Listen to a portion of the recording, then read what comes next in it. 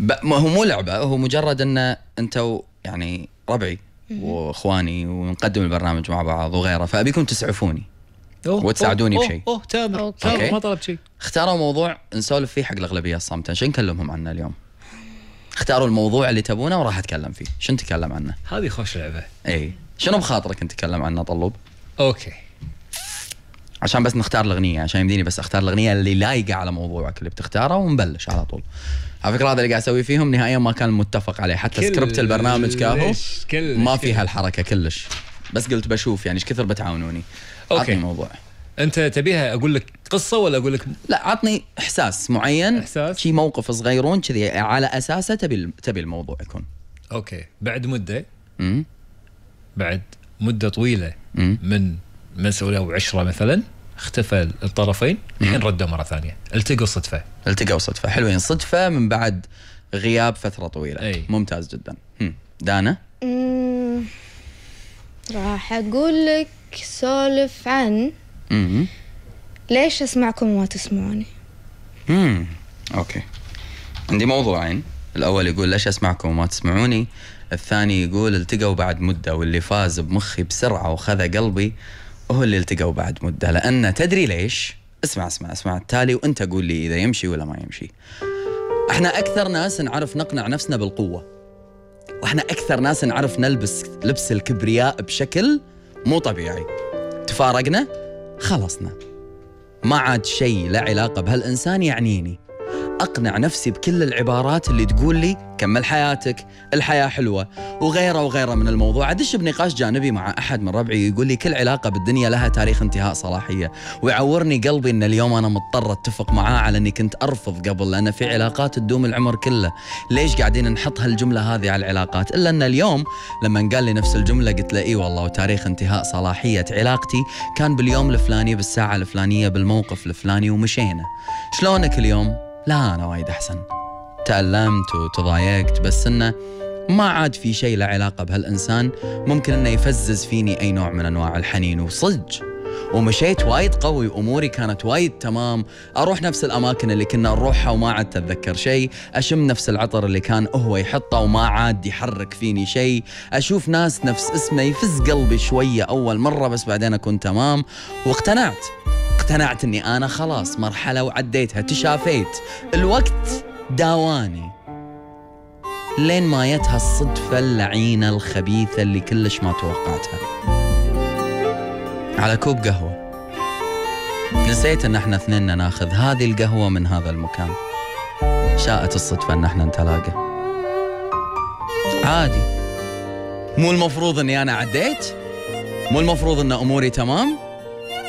ليش تعلقت روحي بهالمكان مرة ثانية؟ ليش لما شفت عيونه تذكرت كل شيء؟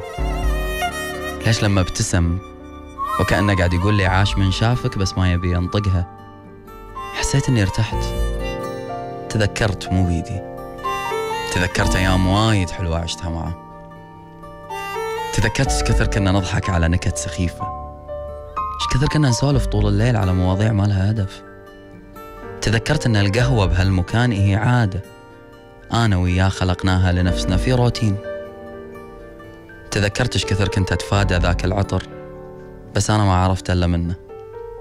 تذكرت إني تصالحت مع المكان اللي كنا نقعد فيه لأن أحب الذكريات اللي يعطيني إياها لما أروح مو لأني عديته. أنا ما نسيت أنا تناسيت. أنا ابدا ما نسيت وأخاف من الصدف. سويت روحي إني أنا والله مو بس سويت أقنعت روحي إني أنا تمام. أقنعت روحي إني أنا وايد قوي. لين ما بعد هالصدفة توصلني رسالة. تزيد الطين بلة. ما الصدفة كانت كافية إنها تعفس مشاعري كلها أصلا. ليش رسالة؟ ليش تواصل؟ ليش كلمتني؟ ليش؟ ليش؟ شنو اللي خلاك تتعدى حاجز الصدفة؟ أكيد أنت حسيت نفس إحساسي. أكيد لما شفتني تذكرت. أكيد ولهت على شعورك وأنت يمي. لا تكابر. حتى لو كانت الرسالة مضمونها ثلاث كلمات. عاش من شافك. قلبي شايل شافك وحاطها عافك وكنت أقول عاش من عافك وأموري تمام بليا. كل أن قلبي مصمم يقول عاش من شافك. كأن قلبي كان طول الفترة عمي وانت عيونه. وشافك. ردت الروح فيه من جديد أكابر على هالمسج ولا أرد؟ أكابر على هالمسج ولا أرد؟ أقولي والله عاش من شافك أنت بعد أو مجرد أقول له شكرا. أقتل الأمل اللي انولد ورا الصدفة بعد ما تصادفنا. أقتله بالمرة بكلمة شكرا وهو بعد راح يقول لي عفوا. ولا أقول له وأنت بعد عاش من شافك. كأنك لليوم تروح تشرب قهوة بنفس المكان. وأفتح نقاش يجرني لذكريات حزينة ما أدري إذا أقدر أواجهها ولا لا. يجرني لأماكن أنا ما كنت حتى أنا مفكر إني في يوم من الأيام راح ألتقي معاه فيها بنقاش. ألاقي نفسنا نتذكر نتذكر نتذكر كل شيء. نتذكر حتى إيش كثر كان اهتمامنا ببعض واضح لدرجة أن وقت الحوار بيني وبينه وبالرسايل ما حد يغيب عن شاشة التليفون. قلت في يوم من الأيام أنه إذا ولهت عليك أطالع السماء. وإذا شفت القمر وطاحت عيني عليه فجأة فأنت حزتها تكون قاعد طالع القمر. فإحنا لو مهما كنا بعاد إحنا أرواحنا التقت فوق بالسماء عند القمر.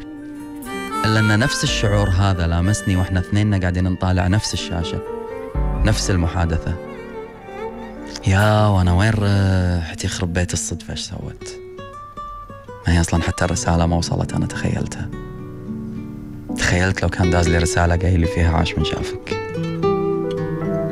كرهت القهوة وكرهت المكان ورديت لنقطة الصفر.